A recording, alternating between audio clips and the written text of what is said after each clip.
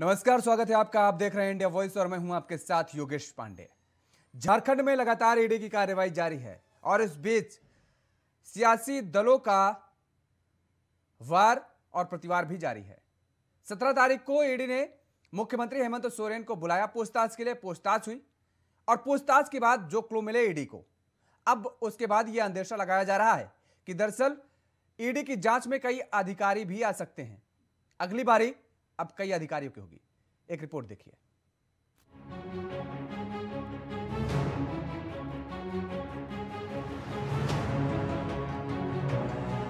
झारखंड में अवैध खनन और मनी लॉन्ड्रिंग के मामलों को लेकर ईडी लगातार कार्रवाई करती नज़र आ रही है। तो दूसरी तरफ़ सियासी वार पलटवार का दौर भी जारी। है लेकिन इन सब सियासी वार पलटवार को नजरअंदाज कर ईडी की टीम रुकने का नाम नहीं ले रही है। अब तक कई लोगों की गिरफ्तारी भी हो चुकी है। तो वहीं सीएम सोरेन तक को ईडी के अधिकारियों के सामने पेश होना पड़ा। अवैध खनन और मनी लॉन्ड्रिंग के मामलों को लेकर ईडी की नज़र न केवल नेताओं पर है, बल्कि ईडी के रडार पर कई अधिकारी भी हैं। दरअसल, अवैध माइनिंग को लेकर झारखंड में ईडी ने 17 नवंबर को मुख्यमंत्री हेमंत सोरेन से पूछताछ की है और इसके बाद अब जाँच की आज किस किस पर पड़ेगी, इसकी चर्चा और भी तेज हो गई है। सूत्रों के मुताबिक, पूछताछ में जिस तरह के संकेत मिले हैं उसके बाद अब राज्य के कई ब्यूरोक्रेट्स पर भी जाँच की आँच पहुँच सकती है। इसमें कई बड़े अधिकारी भी शामिल हो सकते हैं। विपक्षी पार्टी बीजेपी ने तो पहले ही इस जाँच का स्वागत किया था। जानकारी के मुताबिक ईडी के रडार पर कुछ माइंस अधिकारी के साथ साथ डीसी और एसपी भी आ सकते हैं। लगातार जाँच के साथ बढ़ती प्रक्रिया के साथ इस बात को लेकर बीजेपी के नेता बार बार कह रहे हैं कि जाँच में तेज़ी आनी चाहिए। बीजेपी लगातार इस बात का ज़िक्र कर रही है कि राज्य में भ्रष्टाचार पर रोक लगनी ही चाहिए। ये अलग अलग पूछताछ हुई है। किससे किसकी क्या जानकारी मिली है? ये ईडी को मालूम अब उसके आधार पर स्वाभाविक तौर पर ईडी जब तक कोई अंतिम निर्णय पर नहीं पहुँचती, तब तक वो जाँच करती रहेगी। अब उनको किस किस से ज़रूरत पड़ती है कहाँ कहाँ उनको बात करने की आवश्यकता महसूस होती है। ये तो ईडी वाले ही जानेंगे उनके अलावा कोई जान नहीं सकता है। लेकिन जैसा कि मीडिया में चल रहा है काफ़ी लोग ने दिखाया है, लोग लिख रहे हैं कि जाँच का दायरा बढ़ रहा है। तो उसमें कौन कौन लोग घेरे में आएँगे? किसके किसके विषय में क्या क्या तथ्य सामने आए हैं? ये तो ईडी वाले जानेंगे। उधर कांग्रेस के नेताओं ने भी अपनी सरकार का बचाव किया। पार्टी के प्रवक्ता राकेश सिन्हा ने कहा है कि सरकार अपना काम बेहतर ढंग से कर रही है। ईडी की जाँच हो रही है। जाँच में कोई दिक्कत नहीं है।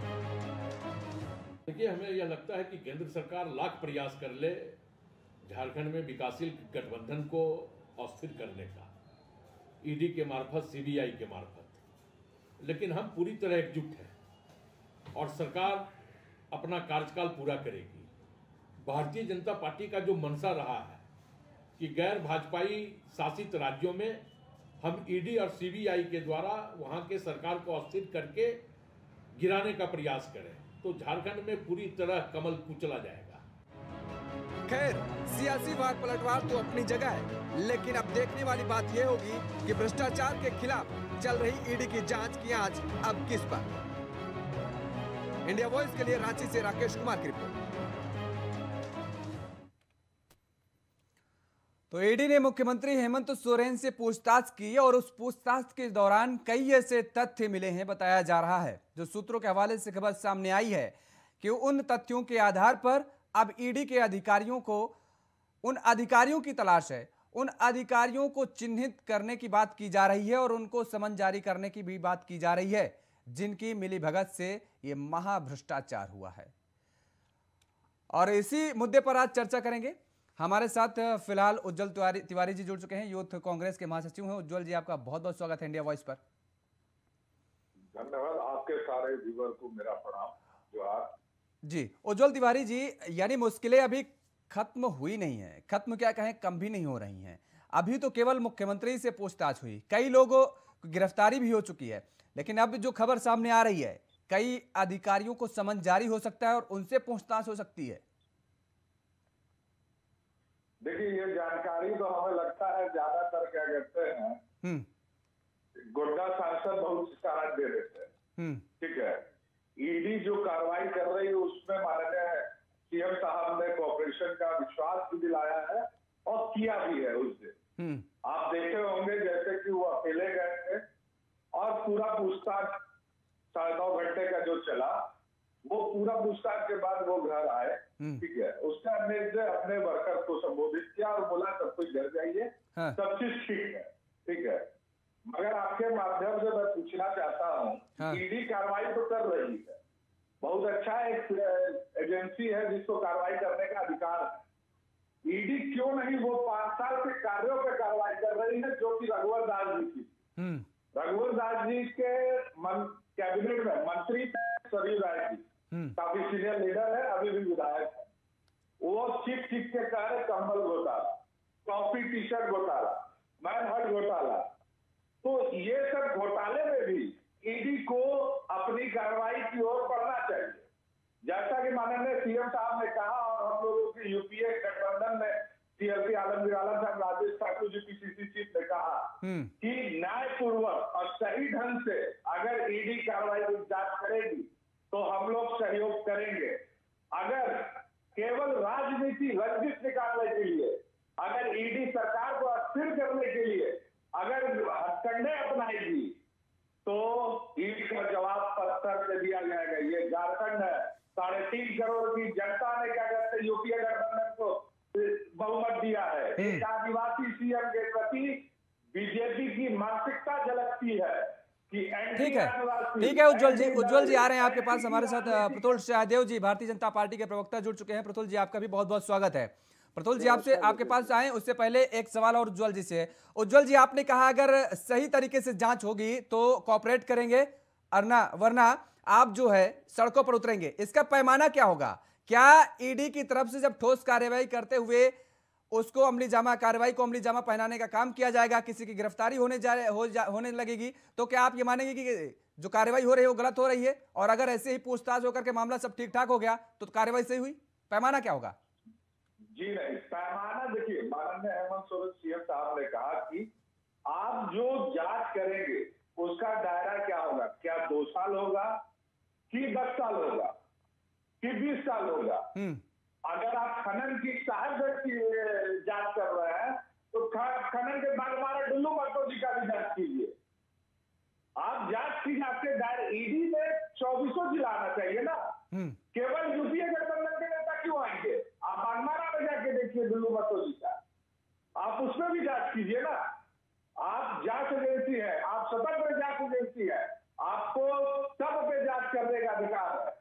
जैसा सीएम साहब ने कहा साढ़े सात सौ करोड़ राजस्व एक साल का आ सकता है जिसका बीस परसेंट जिला साहबगंज में आता है।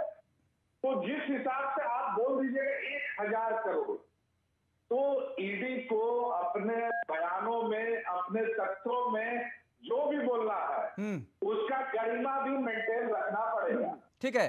प्रतुल जी। जाँच कर रही है। सीएम साहब को पूछ रही है उधर उनके सांसद क्या करते हैं ट्रांजिस्टर कौन सा लगाए रखे तो बोल रहे सीएम साहब घबरा रहे हैं हम्म प्रतुल जी आपने तो सुना देखिए अगर ईडी की तरफ़। से गरिमा मेंटेन रही जाँच सही तरीके से होती रही पूछताछ होती रही तब तो ठीक है वरना झारखंड की सरकार सड़कों पर उतर आएगी और ना तो वो भारतीय जनता पार्टी को घेरने में कोई कोर कसर छोड़ेगी और ना ही ईडी को। तो हाँ। आप डिबेट करा रहे हैं तो जिसका बारी होता है उसको मौका दे मैं किसी को टोकता नहीं। हाँ हाँ जी अब बोलिए। देखिए सबसे पहले माननीय मुख्यमंत्री जी ने क्या कहा? उन्होंने रॉयल्टी के फिगर को दिखाकर यह सिद्ध करने की कोशिश की कि इतनी सिर्फ़ रॉयल्टी आती है साहेबगंज ज़िले से 50-70 करोड़ के आसपास का हम्म। कोई फिगर उन्होंने साइट किया पूरे राज्य के परिप्रेक्ष्य में और कहा कि साहेबगंज से 1000 करोड़ का जो घोटाला है वो संभव है। यह बोलते समय माननीय मुख्यमंत्री जी भूल गए हम्म। कि जो रॉयल्टी आती है वो सिर्फ़ इलीगल लीगल माइनिंग आती है। यानी वैध रूप से जो माइनिंग हो रही है जिसके लिए परमिशन होता है पोल्यूशन कंट्रोल बोर्ड से जिसे राज्य के माइनिंग बोर्ड से, राज्य के माइनिंग डिपार्टमेंट से परमिशन मिलता है, उसकी रॉयल्टी जो होती है, सिर्फ़ माननीय मुख्यमंत्री जी ने उसकी बात की।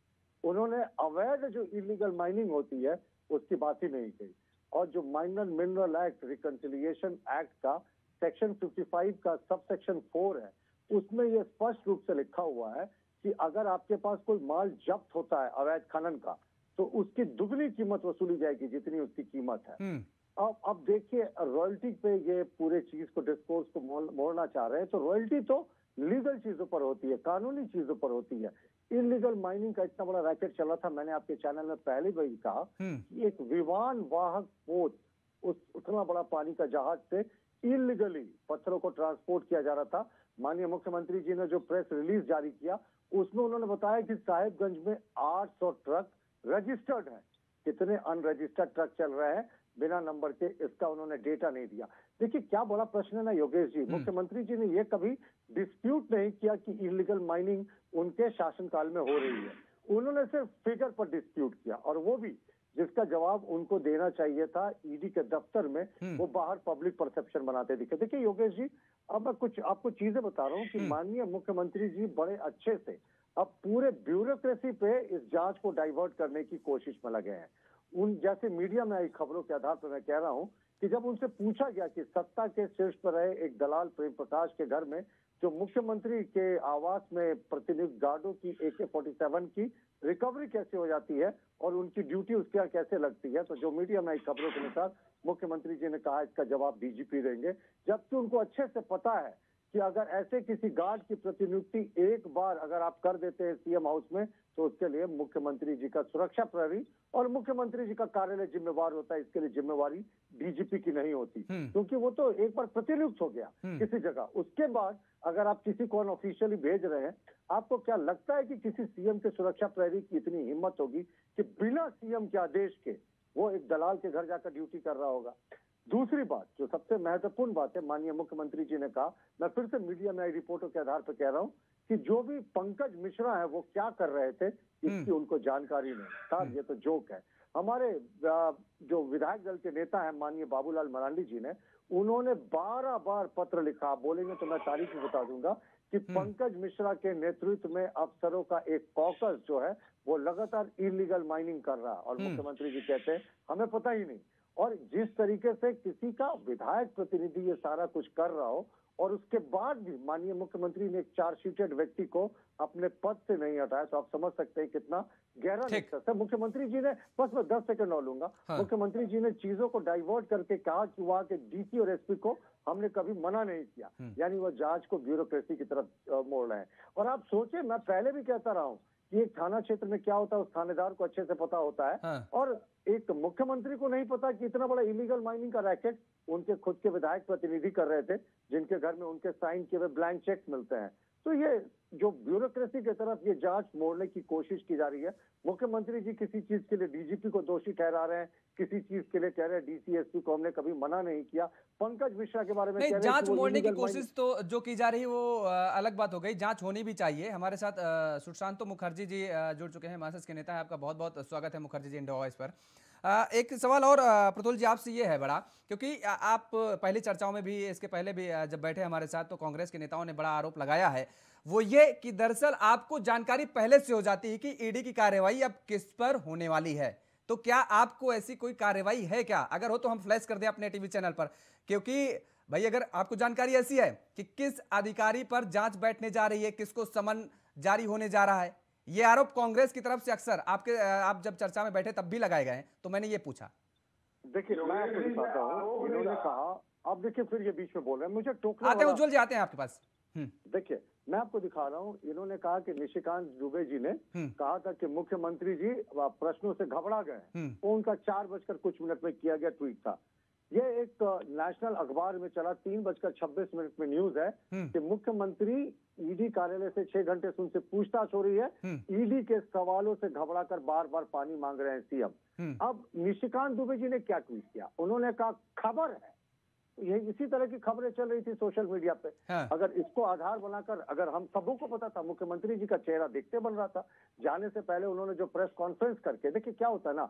मैं फाइनल पॉइंट बता रहा हूँ आपको योगेश कि हाँ। जब किसी को किसी चीज़ के लिए सम्मान किया गया हाँ। तो उसमें मुख्यमंत्री जी की भूमिका तय नहीं की गई थी कि उनको जाँच में सहयोग के लिए बुलाया जा रहा है एज अ विटनेस बुलाया जा रहा है या एज अ आरोपी बुलाया जा रहा है हम्म, लेकिन मुख्यमंत्री जी ने खुद को पहले से आरोपी मान लिया और तो तीन उनके क्लोज लोग थे प्रेम प्रकाश अमित अग्रवाल और पंकज मिश्रा उनके पक्ष में दलीलें दी उन्होंने ये दिखाने की कोशिश की कि साहब ये घोटाला तो हुआ है लेकिन हज़ार करोड़ का घोटाला नहीं है हम्म। ये कौन सा लॉजिक है उनका है। कहना था हम्म। कि भाजपा शासित प्रदेश में ईडी की नज़र क्यों नहीं जाती क्यों हम पे जाती है हम्म। यानी हम चोरी कर रहे हैं साहब ये ये ये इसी पे ईडी क्यों जाँच कर रही है दूसरे प्रदेशों में चोरी हो रही है उस पर क्यों जाँच नहीं हो देखिए है? मुखर तो देखिए मुखर्जी जी आपकी बात पे ताली बजा रहे हैं अपेक्षा नहीं करता हाँ देखिए मैंने तो आपको कितने बार वो लिस्ट को बताया जब हमारे प्रधानमंत्री एसआईटी जाँच को फेस कर सकते हैं अट्ठाईस मार्च 2010 को जब गुजरात के सीएम थे हम्म। तो किसी को किसी आपने बताया ठीक है आते हैं आपके पास आते हैं प्रतुल जी मुखर्जी जी का पक्ष ले लेते हैं। मुखर्जी जी आप बड़ा खुश नज़र आ रहे हैं। देखिए ये ज़िम्मेदारी तो डीसी और एसपी डीएफओ डीएमओ इनकी होती है ना कि भाई अगर अवैध खनन हो रहा है तो इस पर रोक लगनी चाहिए तहकीकात होनी चाहिए क्या कहाँ पर हो रहा है उनको तो जानकारी होनी चाहिए। और अगर ऐसी चीज़ें नहीं थी अवैध खनन हो रहा था तो अब इनकी गर्दन भी बचनी नहीं चाहिए मुझे लगता है। और अब जो खबरें आ रही हैं कि अधिकारियों पर गाज गिरनी तय है तो बिल्कुल ठीक बात है। निश्चित निश्चित एकदम हंड्रेड परसेंट हाँ। आपको बता दें कि जो बाबूलाल जी के बारे जो बात बात कर रहे पतुल जी जो कहे कि बाबूलाल जी बार बार चिट्ठी लिखते हैं। हाँ। ये पतुल जी को पता होना चाहिए कि बाबूलाल जब जेवीएम में थे तभी गोड्डा का लेके बार बार चिट्ठी लिखते थे। गोड्डा का जो अडानी का अडानी का जो वहाँ है मतलब भाजपा का जो बना हुआ है उस पर बार बार चिट्ठी लिखते थे। लेकिन उस पर क्या हुआ? बात कर सुशांत तो। कुछ हुआ? नहीं हुआ। हो रहा है। और बताते और ये लोग जजमेंट पहले दे देते हैं। अरे जाँच हो रही है जाँच होने दीजिए। कोई बोलते हैं क्रिमिनल क्रिमिनल केस में है। कोई बोलते हैं हज़ार करोड़ है। जाँच करेंगे ना जाँच। अरे मुख्यमंत्री जाँच में गए। वहाँ गए आप रुकिए अभी अमूली निश्चय कीजिए बोलने दीजिए। ऐसा है कि मुख्यमंत्री जी गए हैं। आते हैं। प्रतुल जी आते हैं। आते हैं जी आते हैं। आपके पास आते हैं। मुख्यमंत्री लेकिन बहुत किसी को परेशानी है भाई? बीच में ना बोले प्लीज़ मैं एंकर से बोल रहा हूँ। ठीक है अरे। मुखर्जी जी मुखर्जी जी प्रतुल जी ने इशारा किया कि वो कुछ बोलना चाह रहे हैं। हमने उनको उनको समय दिया कि आते हैं आपके पास इस पे टिकट टिप्पणी पर्सनल नहीं होना चाहिए।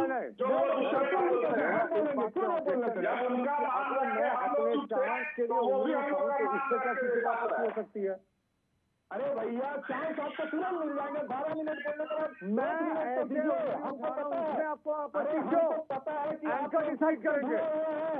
आपके पास स्वास्थ्य मंत्री सीबीआई जाँच में है आपके पास आसाम के मुख्यमंत्री सीबीआई जाँच में है ईडी में है मुख्यमंत्री है आपके पास आपके बीजेपी में बंगाल में है। पश्चिम बंगाल में किसानों पर गोली चलाने वाले लोगों को ऐसी भाषा बोलना शोभा नहीं देता। सिंधु ने किसने गोली चलाया था? बारह किसानों की हत्या किसने की थी? उसी सरकार ने जिस बात का समर्थन था यहाँ किसान और घोटालों के बारे में बात नहीं करें। मार्क्सवादी विचारधारा सफल हो गया लेकिन उसके विचार पर अभी हो रहा है। कि एक एकड़ ज़मीन हमारे झारखंड की बेचती है। उस पर कुछ बोलिए। बोलना है। आपने तो वेस्ट बंगाल में गोलियाँ चलाई थी किसानों पे। आपने तो मैकडोनल्ड को खेती करने के लिए। चलिए ठीक है मुखर्जी। जी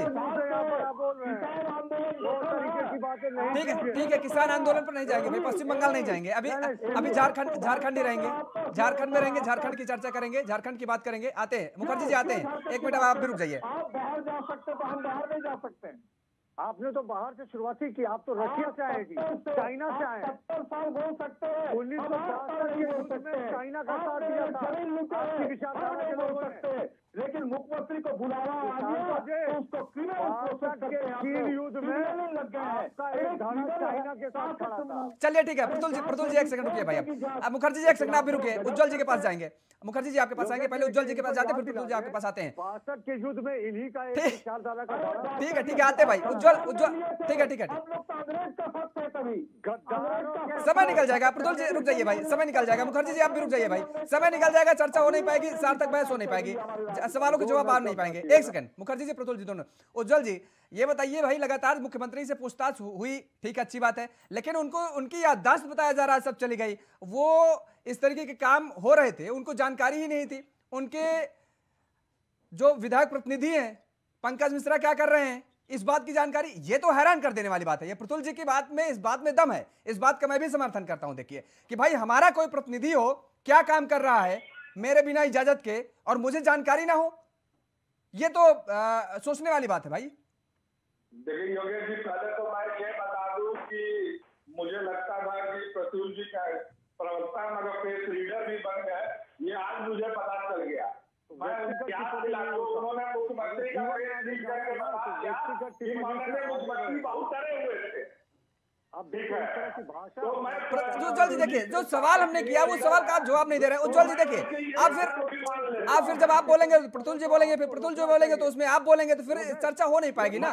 जो सवाल है उस सवाल का जवाब दीजिए आप व्यक्तिगत टिप्पणियाँ नहीं बोला तो मैंने सुना तो आप कृपया करके आप भी सुने नहीं तो ऐसा नहीं है कि मैं मैं नहीं बोल सकता ठीक ना योगेश मैं आपके चैनल में बैठता हूँ व्यक्तिगत टिप्पणी मैं कभी नहीं करता मैंने मना किया मैंने सब सबको ये बात कर रहे हैं कि कोई भी किसी पर व्यक्तिगत टिप्पणी मत करिए। जो सवाल है उन सवालों के जवाब चाहिए और उन सवालों के जवाब दीजिए आप। व्यक्तिगत टिप्पणी नहीं करना चाहिए। मैंने दिखाया कि मैंने रीड किया सीएम का चेहरा। मैं उस पर बोला। ना ना फेस रीडिंग करने लगे। इस तरह की टिप्पणी आप एक नेशनल चैनल में रहे हैं। चलिए एक सेकंड आते हैं प्रतुल जी। प्रतुल जी आप रुकिए आप रुकिए आप रुकिए प्रतुल जी आप रुकिए। उज्जवल जी उज्जवल जी सीधा से सवाल का जवाब दीजिए। देखिए इधर उधर मत जाइए इधर उधर मत भटकिए। आप सवाल का जवाब दीजिए ये बताइए क्या ऐसा हो सकता है वास्तव में यदि आपका कोई प्रतिनिधि हो? प्रेम प्रकाश जी के बारे में ज़िक्र किया इन्होंने हाँ।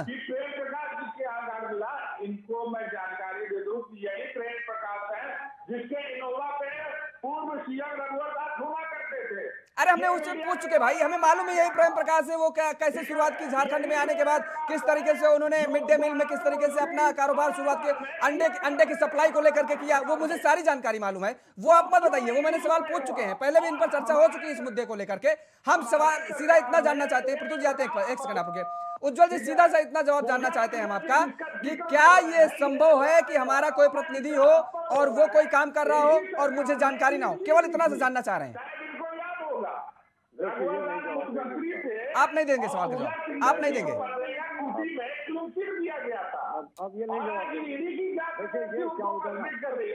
योगेश, पूरा तो ना।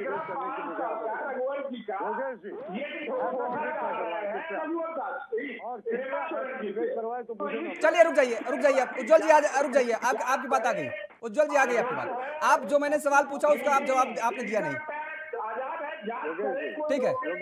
ऐसा है,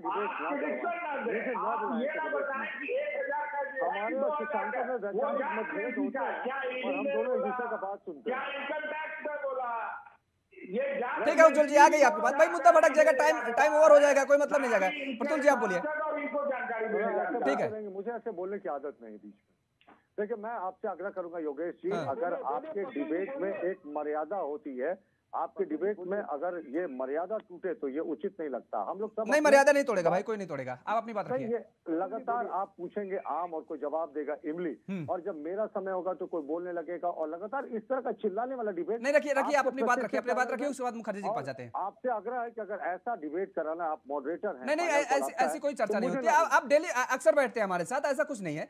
देखिए कोई किसी पर टिपट टीका टिप्पणी पर्सनल नहीं करेगा। वो जो सवाल पूछे जा रहे हैं उन सवालों के जवाब चाहते हैं हम। हम नहीं चाहते देश की जनता चाहती है। देखिए हम और सुशांत तो कितनी मर बैठे ये झाओ झाँव झाँव वाला डिबेट से ना तो जनता समझती है ना कोई ठीक है अपनी बात रखिए अपनी बात रखिए। देखिए हमारा हमारा एक ही कहना है हम्म। कि अगर इनको रघुवर दास जी के किसी भी कारण पे आपत्ति थी तो तीन वर्षों तक ये सरकार में थी। इन्होंने तो सारे मंत्रियों सारे मुख्यमंत्री को तीन महीने में जेल भेजने की बात कही थी। हम्म। तीन वर्षों तक ये क्या करते रहे? अचानक इनकी नींद कैसे टूटने लगी? और माननीय मुख्यमंत्री के विधायक प्रतिनिधि के घर उनके साइन किए हुए ब्लैंक चेक्स मिलते हैं। उसके बारे में मुख्यमंत्री जी को जानकारी नहीं देखिए बाबूलाल जी की बात बात कर रहा था कि बारह चिट्ठियाँ उन्होंने लिखी थी और स्पेशल टास्क फोर्स एक बना हुआ है इलीगल माइनिंग के खिलाफ हम्म। पूरे प्रदेश का। क्या उसे भी जानकारी नहीं थी इलीगल माइनिंग हो रही है? अखबारों में खबरें छपती थी कि साहेबगंज इलाके का पहाड़ गायब हो गया। हम्म। समतल हो गई ज़मीन। मुख्यमंत्री को जानकारी नहीं होगी उनके विधायक प्रतिनिधि क्या कर रहे हैं? ये कोई सोचने वाली बात है ये कोई मान सकता है? और साहब उनका कहना था कि जानकारी नहीं थी लेकिन सबसे ट्रिकी पार्ट है योगेश अब तो उनको जानकारी हो गई। अब तो इस बात की जानकारी ईडी ने उनको दिया और 48 घंटा हो गया। हम्म। लेकिन माननीय आदरणीय परम आदरणीय पंकज मिश्रा अभी भी विधायक प्रतिनिधि है। नहीं अब नहीं हो गई अब नहीं हो गई। तो ठीक है। ठीक है।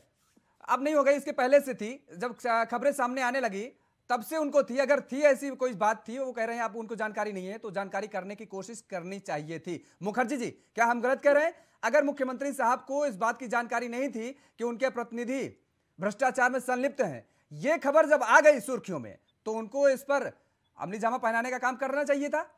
पूछताछ करनी चाहिए थी? जानकारी हासिल करवानी चाहिए थी? क्या की उन्होंने? देखिए निश्चित तौर पर है कि ईडी अगर जाँच कर रही है ईडी अगर जाँच कर रही है तो निश्चित तौर पर पंकज मिश्रा का भी जाँच कर रही है। हाँ। वो अगर मुख्यमंत्री जी उसको रोक भी दिया मुख्यमंत्री जी अगर रोक भी दिए तो जाँच होंगे। ठीक है ये तो जी लेकिन एक चीज़ आपको पे बता दें। चार्जशीट हो चुका है। जी जी अगर ये चीज़ बता दें ये चीज़ बता दें कि विधायक प्रतिनिधि के पास अगर किसी विधायक का ब्लैंक चेक रहे ये कोई आरोपी नहीं है। हम लोग के घर में भी विधायक है।